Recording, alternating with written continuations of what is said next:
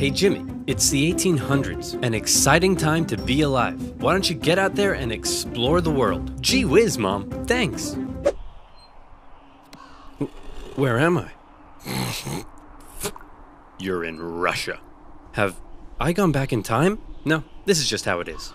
Are you a farmer? Worse. Technically, my landlord owns me, which makes me a serf. I'm scared. You should be, because I haven't eaten in four days, and you look pretty tasty. Hey, Jimmy, how are your travels? I hate you! My lord, we're falling behind the rest of Europe. It's time to industrialize, give the people rights, and share your power. They need a strong ruler with some big ideas. Oh, look, here comes one now. Hey everyone, it's me, Tsar Alexander II, and I've got some big news. I'm releasing you all from your serfdom. You're all free. Yes! Yep, I'm the best. Oh, there is one thing though. I spoke to your local lords and they weren't happy about losing all their free labor. So, as a compromise, you're all gonna have to pay them back a near impossible amount of money for the next 49 years. Expect your lives to barely change. Okay, bye. How does one man get to decide the fate of everyone in the country? This whole system is dumb. Somebody should do something. Like what? Like kill the czar. You're gonna kill the czar? Well, me, no. I'm busy. I was kinda hoping you'd do it. Okay. See? The people love me. They're throwing flowers, confetti, and high grade explosives. Okay, Nicholas, your grandfather has a mild case of being blown up by a terrorist, and he's not looking too hot. So we're gonna go say our goodbyes, okay? No, it'll be too scary for him. Nonsense, it won't be scary at all. We're just gonna say a quick goodbye. Ready? Boy! Look at me! The people did this to me! And one day, they'll do it to you! See? Wasn't scary at all. Diversity in our great nation. Alexander thought all these minorities should be a little more Russian, and thereby loyal to him. Now that's how you run a country. Hey, Dad? Ugh, great. It's my son Nicholas, who I like to call a girly girl because he's so weak and pathetic. When are you gonna grow up? eh, you still look like a girly girl to me. But, Dad, I grew a beard. Yeah, an ugly girly girl beard. If Nicholas was to one day be czar, he needed his dad to teach him how to run the country. But his dad instead suggested that Nicholas go somewhere else. So Nicholas went to Japan, got an edgy dragon tattoo, had his head sliced off by a policeman, and then came home. Now will you teach me how to rule? I suppose it's time. Okay, there's a lot you need to know before becoming czar. Uh-oh. What? I've got kidney inflammation.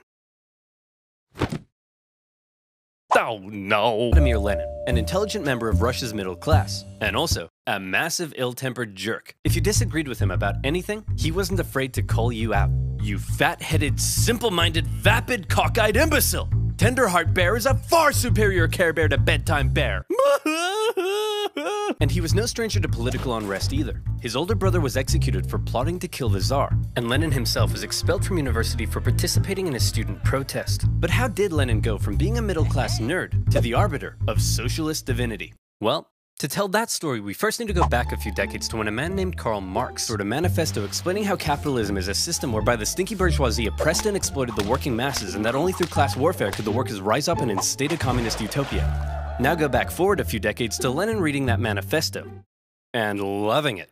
But publicly admitting you loved Marx and not Russia's big daddy would get you the cruelest punishment imaginable exile to Siberia. Enjoy exile, where you'll live with your wife, chill around town, and secretly write socialist newspapers. Hey, that doesn't sound so bad. And your mother in law is going to live with you. No!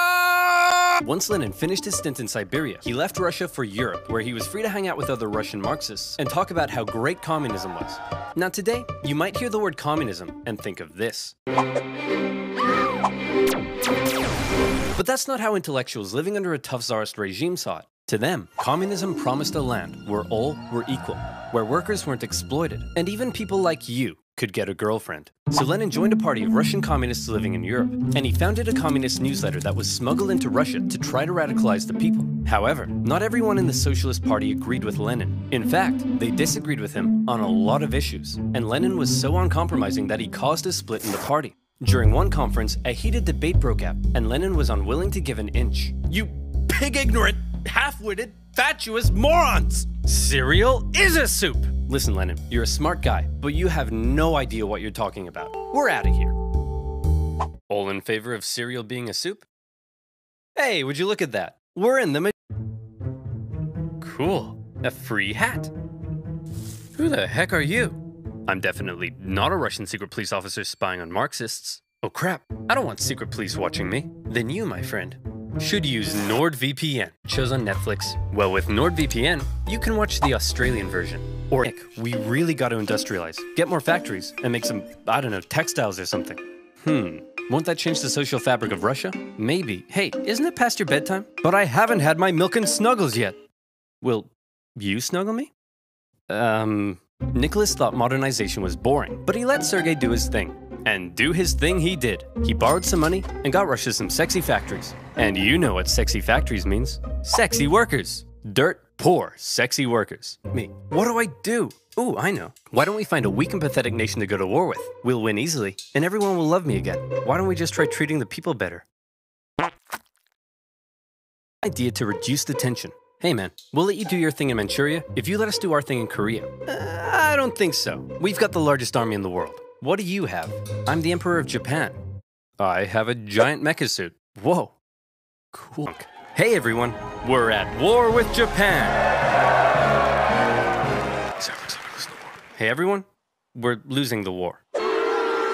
We're outraged. Unrest increased. Nicholas needed snuggles now more than ever. Nicholas, some priest is leading a peaceful protest. Says here they want to give you a petition. A peaceful petitioning priest? I better get out of here.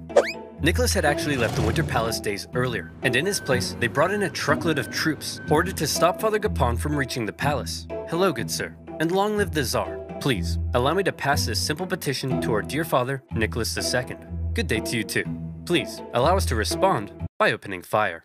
Everyone relax. As long as the military is still on my side, there's nothing to worry about. Sir, the sailors are starting to mutiny. Well, my life just sucked. Hey, remember that manifesto I wrote and how you guys were going to approve my laws? Mm-hmm. Slight change of plan. Actually, I'm going to do whatever the hell I want, and you guys are going to shut up. What? The people won't stand for this. People? What people? You know, this is why people don't like you. Stolypin's necktie. I don't get it. Oh, I see. Because it goes around my neck.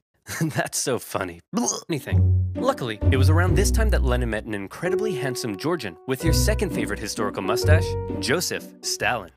Lenin and Stalin met at a communist convention in Finland, and Lenin liked Stalin because he was a real go-getter and was great at fundraising for the Bolsheviks. And by fundraising, I mean kidnapping, robbing, extorting, bribing, ransoming, assassinating, prison breaking, stealing, bank raiding, executioning, and stealing again. Hey Stalin, the Mensheviks aren't so hot in all this stealing, but we still need money. So the next time you do a big heist, just do it quietly.